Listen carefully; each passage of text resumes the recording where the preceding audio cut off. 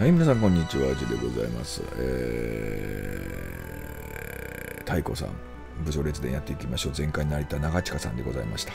えー、じゃあ次はと。えー、次はな、あ、成田長安さんね。やたら長安って名前出てきましたね。えっ、ー、と、あ、出没わかりません。山内上杉家臣、押城主。えー、近安の子、押城って結構南の方と思ってたんですけど、上杉家来てたんですね。えー、後謙信が鶴岡八幡宮に参拝あ参拝した際成田家のしきたりにより騎乗のまま出迎えたため謙信の怒り深い上杉家を離反その後北条家に属したが着手氏長と不和となって追放され隠居したとあそうだ追い出された人ね。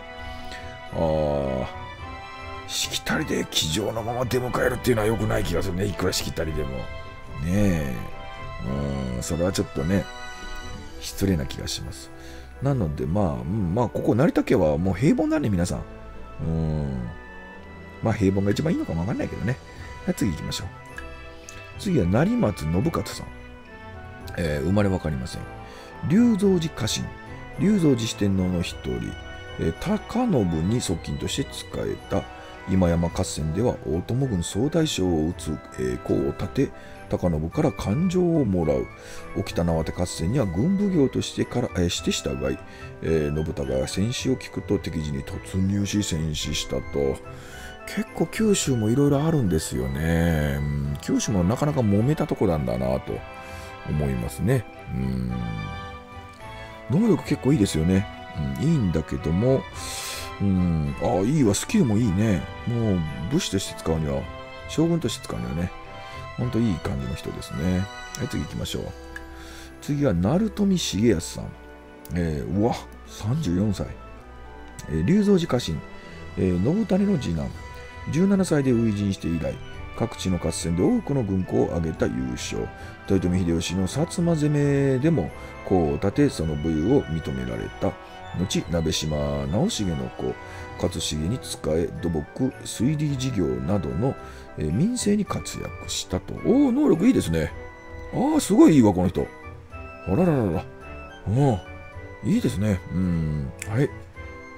うん。あでも1560年いやごめんなさい。間違えた年。すごい長生きだわ。34歳じゃないよね。えー、っと74歳は長生きしてますね。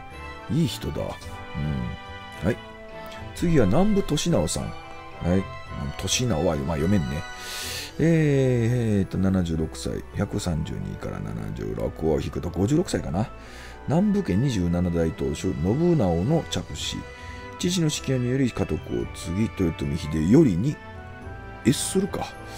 えー、一瞬カツしちゃったのかなと思ってね、えー、ってなっちゃった。上杉景勝の乱で家康の命で出兵し、最上家を救援した。直後、一揆が発生したため帰国。領内平定を成し遂げ、後の南部藩の基礎を築いた。ああ、じゃあやっぱ政務すごいね。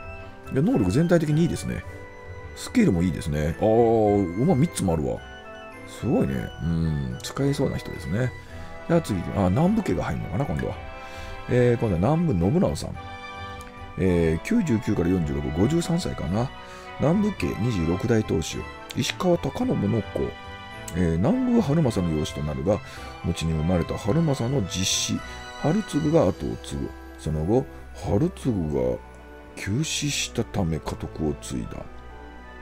政治感覚に優れ、工藤正実のえー、反乱などに対処する一方で前田利家を介して豊臣秀吉に通じるなどして領内の統一を進めたと。ああ、高い。いいね、この人も。南部県もなかなか通ぞれなのかもしれないですね。軍学3あります。ねえ。はい、次行きましょう。次は南部春正さん。あ、この人名前は聞いたことあるね。ああ、1個上の世代かな。えー、っと、82から17。えー、65歳？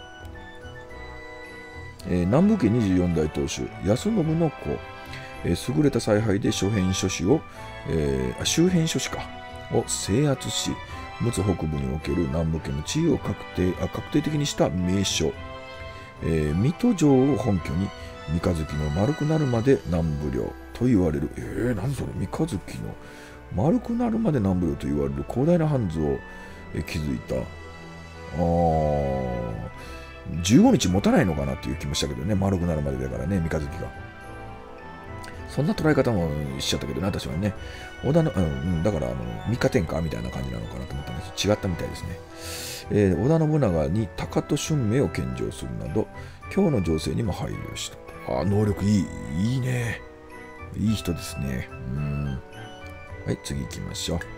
えー、次はニーロ忠元。ニーロこの読めないわ。なんだニーロって、新しく収めるでニーロって読むの？はあ、ねえー、あ、この長生きだ。89歳かな？いや、違うね。26、84歳？あー。島塚神、初戦で数々の功を立て、その感銘から鬼武蔵と称えられた島津家の関係書に名を残した島津 4, 4優勝の一人。はい、ごめんなさい。え、秀吉の九州征伐軍に下った後も、秀吉との越見に毅然とした態度で挑み、感服されたという。はい、能力が、能力いいですね。政務以外、まあこの人の性別にいらないね。うわ弁術もあるわ。わ結構使えますね。内政以外使えますね。うん。はい、次行きましょう。あ、来た二階堂さん。二階堂森吉さんですね。もうこの人のもう、イラストがね。まあ、でも逆に二階堂さんこれで有名になったんじゃないの？ねえ。まあ、それぐらい光栄さんのゲームって影響を与えてると思いますよ。もう歴史も長いしね。え二階堂家18代当主。はじめ芦名、えーえー、森氏と争うが子森高を人質に出して降伏。後に森高が芦名家の養子として家督を継いだと、びっくりしたんでしょうね。え、人質出した息子が敵方の家督を継いだの？っていう。ねえー、援助を受けて二階堂家の勢力を一時盛り返した。しかし、森高が芦名家臣に暗殺されると。あ、びっくりしてな。そこでびっくりしてんじゃないのか。アンチな歌詞に暗殺されると後ろ盾を失い、伊達政宗の侵攻を受けた敗北、二階堂家は滅亡して、いや、何にびっくりしたんだろうね。暗殺されたことにびっくりしたのかな。ええー、っていう感じなんでするんですかね。まあ、あまりにね、もうできすぎちゃってんで。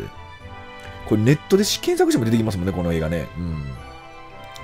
さあ、本当にね、あの、いい仕事してるのか、罪なことしてるのか。ねえ松江の方いたら怒りそうだけどね、能力は知望が高いんですよね。うん。まあ、政治的な、あれなのかな。でも、政務はもう完全内政なのかな、さっきの人はね。政務が高くて知望が低いって人いましたから、どうなんでしょうね。計りごとなのかな。うん。だ外交というよりは、計りごとなのか、この人やったこと。うん。まあ、有名な人ですね。はい。あ、ヨデさんだ、これ。あ、違うわ。勘違いしちゃった。西川さんだ、これ。西川仁右衛門さん。はい。えー、っと、商人の人ですね。生まれ分かりません。没も分かりません。はい。近江の商人、え、屋号は山形屋。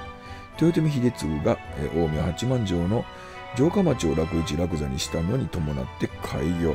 はじめ、茅や潮干物を商っていたが、八幡で、えー、上氷の生産が、えー、盛んになると、東海移動方面に上標でいいのかな？の行商を展開した子孫は江戸日本橋に店を構え今日今日まで商売を続けているへえ畳関係かいわかんないですけどねはいうん、内政ね、もので、内政結構できるんですよね。建築と算術ね。はい。これはあのね、助左衛門さんの承認プレイで部下に迎えた人だったかな。うん、西川仁右衛門さんね。はい、次行きましょう。次は、あ、西名さんね。えー、っと、あ、短いね、この人。25歳。武田家一門、武田信玄の五男、高藤城主、信濃の豪族、西名家の名跡を継ぐと。兄勝頼を助け、その命により高藤城を守った。織田信長に対し、がえー、眼鏡に抵抗したが信長の直視、信忠が、率いる大軍の前に敗北、自ら命を絶ったと。能力いいんだけどね、地望が低い。先読めなかったということなのかな。で、あの、スキルは結構いいの持ってますんでね。次行きましょう。次、おー、二の黒は伊助さん。ね。えー、年分かりません。うん、生まれも没も分かりません。風魔忍者、えー、出自などは不明。忍術の名人であるとともに、風魔屈指の俊足として名を馳せた。風魔小太郎の命を受けて北条氏康に属し敵の城に潜入しての、えー、諜報活動などに活躍したとされる。北条家滅亡の後伊賀に赴いて風魔の忍術を伝えたという。二の来るは、まあ、これ来るわっていうんですよね。伊助と。伊之助って言わないね。伊助なんですね。で、えー、武力で忍術。あまあまあそこそこ幅広いかなっていう気はしますねはい次行きましょうあ、この人も知ってる。次は二宮成時さん。時？な、なり？成時？えー、っと、北条さんじゃないわ。あの、中国地方取った人ね。毛利さんだ。毛利元康さん。いや、成とはよ。元成？あ、毛利元成だっけ？元康って言っちゃった、私。あ、元成さんか。だから成は読めるのか。時は読めないね。えー、出没わかりません。毛利家臣春久の子。えー、経理に長けていた、えー、連結の死？連吉かな？毛利元成だね。元成の楽、ああ、この人もか。楽院でいいのかな？娯楽院ってね。楽院とも言われる。えー、毛利輝元の奉行となって、え、両国全般の政務を見たと。広島城とその城下町の建設に際しては、えー、不審奉行として尽力したと。もう楽院というのは、あの、側室の子っていう扱いみたいですね。はい。まあまあ、魅力が高いですね。地望、あ、政務が高い。うん、魅力性務が高い。で、スキルも持ってますんで、なかなかいいですね。はい。じゃあ、お次。ほいと。えー、次は日本松義嗣さんは、もういい顔してますね、ほんとね。85年から50年、35歳。うん。いや、違うね。85歳から、85年から50、33歳だ。日本松畠山14代当主、義国の子、伊達政宗と争う大内貞綱を庇護したため、信仰を受ける。えー、政宗に降伏して和議の交渉に赴いたが、余談えー、会談の終了後に政宗の父、えー、照正照宗を拉致、逃走するも、政宗軍に追いつかれ、照宗と差しあ、この人かい？あのね、鉄砲で撃たれた人。あの、親、あのね、おやすさんももう、も、ともども。ねやられちゃった人。能力は平均ないね。うん、使いどころ困るね。3術ぐらい。かな？うん。じゃ次行きましょう。次は庭長秀さん。ああ、長秀さんのかおとあお父さんじゃない息子さんかな？あ、庭長秀の子、えー、陸奥白河城主、えー、静ヶ岳の戦いで功があり、また、翌年の小牧の戦いにも出陣したと。父の死後、えー、医療を継いだが九州の陣で軍律を犯し、元父、えー、秀吉の死後は徳川家康に仕え、前田秀俊の監視を命じられたと。うんまあ、前田秀俊さんね、うん、ちょっとあちら側なのかなっていう、あれがあったのかな。うん、疑いがあったんだろうね。まあ、スキル、まあ、スキルそうな気がしますけどね。えー、いや、逆に上出来じゃないかなっていうのはありますね。